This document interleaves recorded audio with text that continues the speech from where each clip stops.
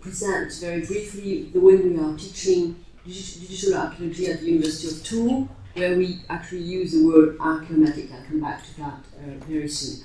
Uh, first of all, perhaps I should make clear that in Tours University, unlike most French universities, archaeology is connected with history. So we belong to a department of history and archaeology in which students uh, can follow in the first two years only two classes of archaeology and then they can choose to, to read only archaeology only in the third year. But for the moment, I shall mainly insist on the master degree. But so, just perhaps it's useful to be aware that they will have read um, only archaeology only in their third year. Um, so we've been teaching archaeology in Tours since 1988.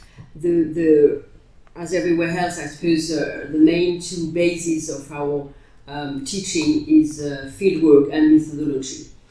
We insist on having a very close relationship between the training and the research unit to which we all the archaeologists belong uh, at Tours University, which is Laboratoire Archéologie et Territoire, which was uh, created uh, in the uh, early 90s, in fact, a few years after the beginning of the course.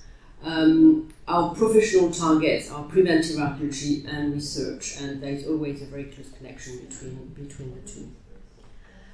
Um, last September, our course um, took a very important turn because we changed the structure in which the course uh, is uh, organized. We joined a new master degree, uh, which is called um, within um, uh, une école supérieure en intelligence des patrimoines. In fact, this structure uh, puts together two different master degrees. One entitled um, Histoire, Patrimoine, so History, Civilization, and Heritage, and the other one uh, entitled um, Digital, Digital, uh, no, sorry, Digital Humanities.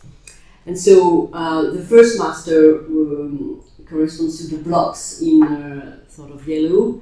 So four different um, courses uh, are, um, are offered to students. Uh, either uh, firstly a course in uh, heritage, Renaissance studies, food studies, and our uh, master archaeology and digital archaeology. So, um, which I'm going to talk more about now. And the for digital um, humanities, there are two different um, uh, courses. So this uh, this new structure, uh, which started to to operate only last September, would like to evolve and to be able to offer next year or soon afterwards postmaster um, formation so that students may improve some aspect of their knowledge uh, in the field of heritage uh, altogether. So um, our main purpose is to train students uh, to practice archaeology uh, with uh, and to be to make them familiar with our current issues. Um, so we that's why we, it's so important to associate uh, teaching and, and research so that uh, we can teach them what we've been experiencing in our own research. So we understand the word archaeomatic as um, uh, a sort of synonym of archaeological information science the way Marcos Llobera uh, used it. So the general structure of the of the master degree is based on three main blocks of, of teaching. Uh, there is a common core, which uh, deals mainly with digital humanities in, in a general way, thematic teaching, and digital archaeology. Uh, the thematic teaching itself is divided into two modules, and they are followed both by students in their first and second year, and so there are two main modules, and you can see the way they are divided into three courses each. So I won't read the details that you can see uh, by yourself.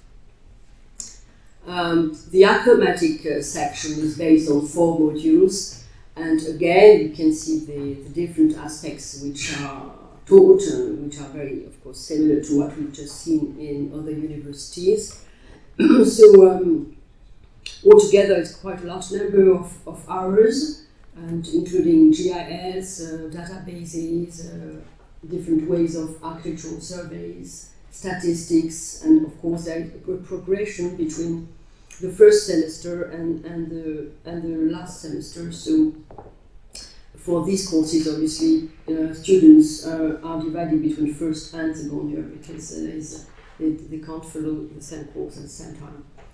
And um, we, as for the future of our students, which is something quite important for us, like for everybody, I suppose, for some of them, a very limited number of them, will go on doing a PhD uh, in archaeology. So they, they join, they can, they can join our research team. Um, they apply for a grant, and if they get it, they can join the research team to do a PhD in archaeology. And we offer subjects, of course, which uh, include uh, digital archaeology.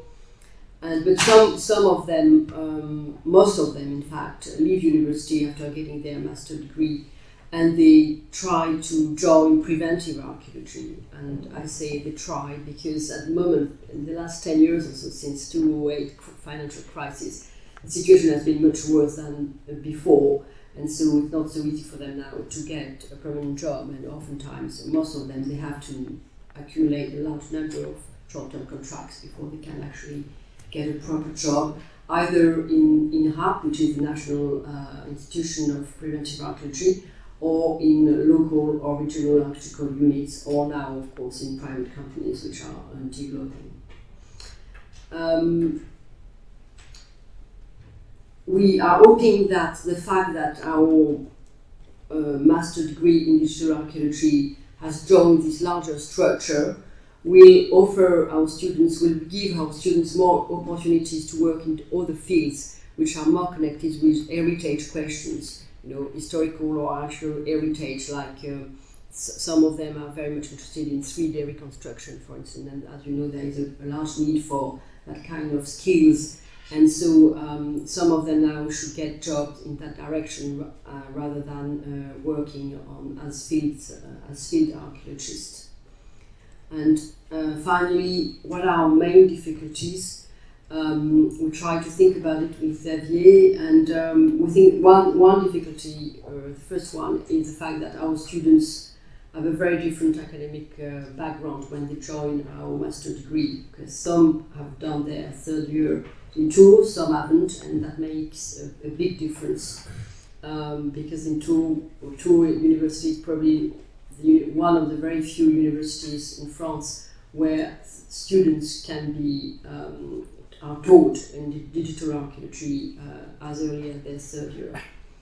Um, so there is a large diversity of disciplinary origin of students. Some of them have read history or uh, art history, so they have different backgrounds. And um, the, we suffer also from the fact that there are, in fact, too many universities offering similar um, courses or courses, a master degree in archaeology altogether, which means that the number of students is uh, dispersed in too many different uh, places. And so we would like very much to be able to develop uh, more strongly a European cooperation to enlarge our perspective so that we could uh, offer into things which can't be offered everywhere. Uh, and that would involve, for instance, um, being able to send our master students to spend uh, a semester abroad in a more systematic way. At the moment, some of them do it within the Erasmus program, but that's a limited number of them who do it. And uh, we would very much uh, like to develop uh, stronger links with some of your universities to make a network through Europe, and I think that we, we will discuss that more deeply this afternoon. Thank you very much.